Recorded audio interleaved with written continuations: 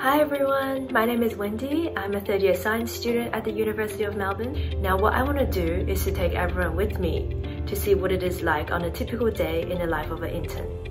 It is currently 9.30 here down in Melbourne and this is when my day typically starts. First thing I do in the morning is to check and respond to any emails and then after that what I like to do is to review what work needs to be completed by the end of today and then I will produce a list of tasks that I can tick off gradually throughout the day.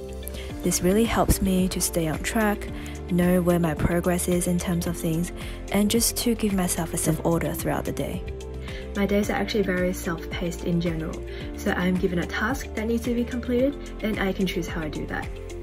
After lunch, I decided to make a little pick-me-up because I was inspired by a cultural session we had where we learned about the cultural aspects of India as well as how to make masala chai.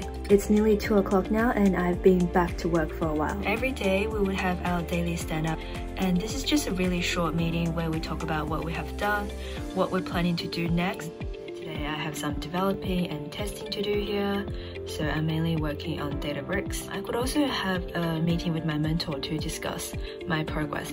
It's almost 5 now and I've managed to tick off everything on my to-do list today. And now I want to leave everyone with some last tips. My first tip is to have an open mind and always be prepared to learn new things. My second tip is that do not be afraid to ask questions. It is not embarrassing to ask questions. In fact, it is perfectly normal for interns to have a lot of questions. My last tip is to come into an internship with a goal in mind. I know for some people, they're already passionate about the industry, so they just really want to get hands-on.